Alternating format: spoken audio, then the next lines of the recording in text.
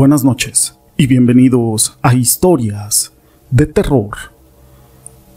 Los hombres de hoy creemos que ya no tenemos mucho por conocer, que ya no hay nada nuevo que descubrir. Pero en este programa vamos a conocer historias, experiencias, situaciones que ocurren del más allá y de lo sobrenatural. Se dice que la ayahuasca es una medicina vegetal que se utiliza con frecuencia en los rituales y ceremonias de los pueblos amazónicos por sus propiedades psicoactivas. Aquel brebaje ha cobrado cierta popularidad entre los viajeros que acuden a las comunidades de la selva para poderse sanar o para profundizar en el mundo de las energías y en el inconsciente. Pero se dice que también el alcohol y algunas drogas te pueden llevar inconscientemente a un estado muy parecido, que yo en lo personal no lo recomiendo. Pero todo esto no es relevante sin una historia. Mi nombre es José Llamas y te presento Historias de borrachos. La siguiente historia está basada en hechos reales y nos la comparte Crónicas Paranormales Huasteca Potosina. Todo empezó cuando mi marido llegaba borracho a la casa. Siempre ha sido tranquilo pero una vez llegó ebrio y empezó a gritar que veía un monstruo grande y delgado, con las alas con picos y sus ojos rojos, allá donde tenemos el baño, afuera de la casa.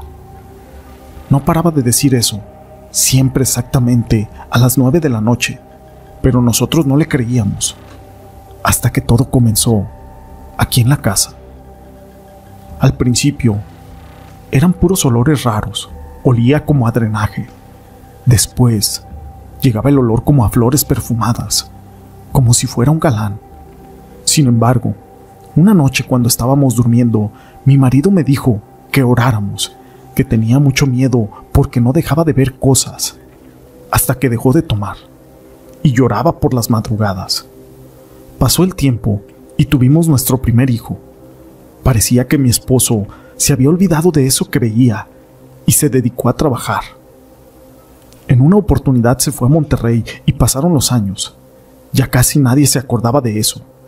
Mi hijo ya tenía seis años de edad, cuando de repente llegó del preescolar y no paraba de llorar y apuntaba hacia el baño. Y decía, Mosto, Mosto, que significaba que había un monstruo y se tapaba los ojos. Así estuvo días, hasta que se llegó el día viernes y yo me puse a lavar la ropa se veía que quería llover y por eso yo quería apurarme. Eran las seis de la tarde, cuando estaba tendiendo ahí justo en el patio. No sé por qué volteé hacia el baño y vi que estaba oscuro, con la puerta abierta.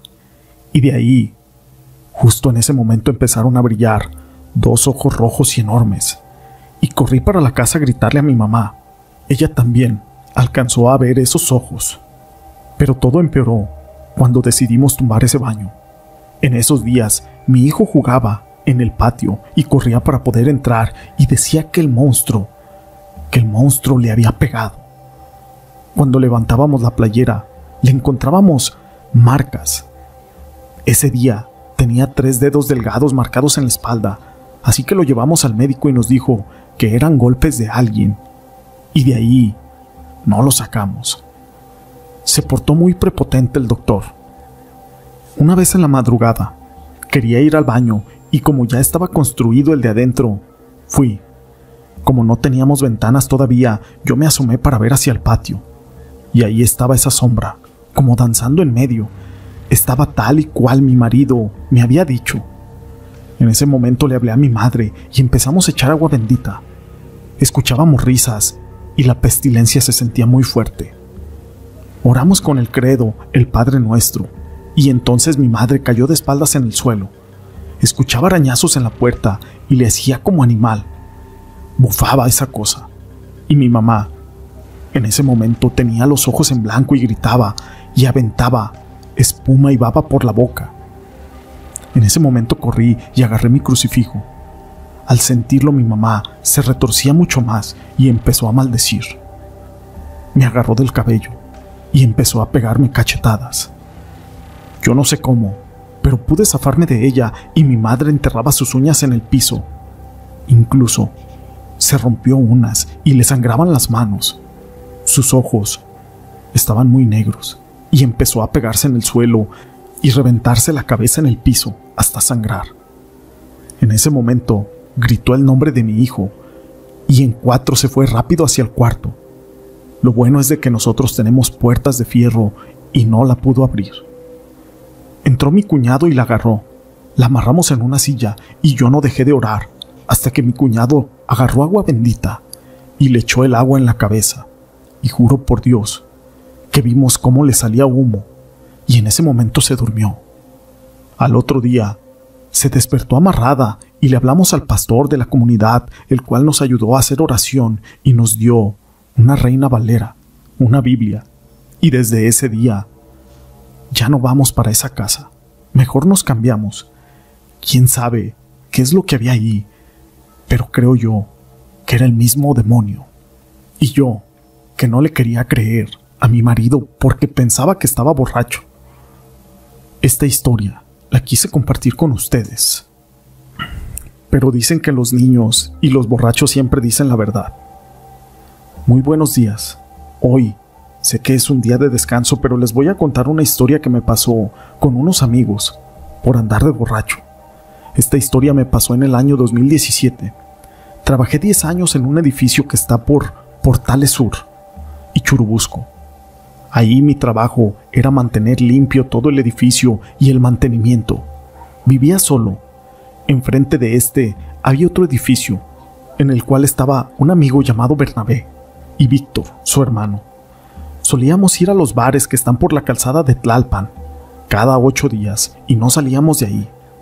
Esa noche cerraron el bar, como a las tres de la mañana, y en lo que nos sacaron, se hicieron las tres y media. Caminamos así hasta donde vivíamos. No más que quisimos pasar al Oxo por más cervezas. Nos paramos en una esquina de esa calle donde está el Oxo para juntar el dinero. La calle se llama Vistahermosa. Teníamos que caminar hasta eje 8 y ahí estaba el Oxo. Para el otro lado está Churubusco. Vimos que venía una persona hacia nosotros, pero toda vestida de negro. Pasó justo delante de mí. Pero el caminar era de una mujer, mas no se le veía su cara. Víctor parece que olió que era una mujer y nos dice, Hey, es una chica, la voy a comprar. Sí, está bien, le dijimos que hiciera lo que él quisiera. Caminaron algunos 20 metros y se toparon. Comenzaron a platicar y nosotros los veíamos. Justo en ese momento estábamos contando el dinero para comprar más cerveza. De repente, Vimos que Víctor ya venía de regreso, pero venía muy extraño. Cuando llegó con nosotros, se le veía pálido, así que le preguntamos qué es lo que había pasado, pero no nos contestó. Como a la cuarta vez, nos empezó a decir que la chica le ofreció trabajo, que quería que trabajara con ella. Y él le preguntó qué haces. Pues yo estoy en una secta, y por cada cabeza humana que me lleves, te voy a pagar dos mil pesos. Así que él solamente se asustó y decidió caminar hacia nosotros. Seguimos contando el dinero para esas cervezas, porque ya estábamos ahí, y no le dimos mucha importancia. Compramos las cervezas y nos salimos del Oxo. Caminamos hacia donde vivíamos, sobre Vista Hermosa. Esa calle es muy oscura, por tantos árboles que hay. Así que son como cinco cuadras para poder llegar al edificio. Íbamos caminando y yo empecé a escuchar el llorido de una mujer y les dije a mis compañeros que si no la escuchaban, pero ellos decían que no. Y entre más nos acercábamos, más se escuchaba. De repente, alguien se veía sentado en la banqueta, y fue mi amigo Víctor el que corrió para ver quién era, y era la misma mujer que nos habíamos encontrado minutos antes. Mi amigo le preguntó, Amiga, amiga, ¿qué te pasa? pero no contestó y como cuatro veces le insistió con la misma pregunta. Justo estábamos al lado de ella todos y le escuchábamos llorar, y como a la quinta vez volteó con una voz tabernosa y dijo, Nada. Y en ese momento levantó la cara, pero no tenía, era solamente un fondo negro, y en ese momento nos echamos a correr. A la mitad del camino, yo llevaba las cervezas y las solté, porque ella iba corriendo detrás de nosotros y me dio un grito, justo en el oído. Para acabar pronto, era la llorona. Nosotros nos metimos al edificio corriendo y yo subí hasta el cuarto nivel. En tres segundos, hasta la peda se nos bajó de aquel susto que nos llevamos. Después de esa vez, se nos quitó la costumbre de andar de borrachos y nocheros. ¿Será que dicen que la llorona se les aparece a los hombres que son nocheros, borrachos infieles? No sé ustedes qué piensen, amigos. ¿Será cierto que nomás a los hombres se les aparece? Y quiero aclarar algo muy importante.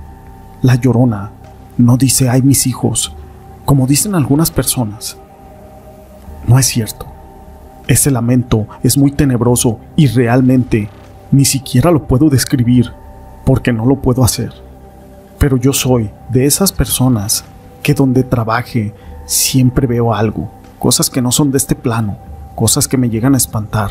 Siempre veo, siento. Y la verdad es de que sí da mucho miedo, porque son cosas a las que no estamos acostumbrados, y como de repente la muerte no te da tiempo de nada ni siquiera de sacar fotos o de grabar. Y cuando eso me pasa, ni siquiera me cruza la idea por la mente de grabar o de sacar evidencia. Estas historias las quise compartir con ustedes. Si les han gustado, déjenme su pulgar arriba. No olviden en dejar sus comentarios. Y gracias por ser parte de este canal.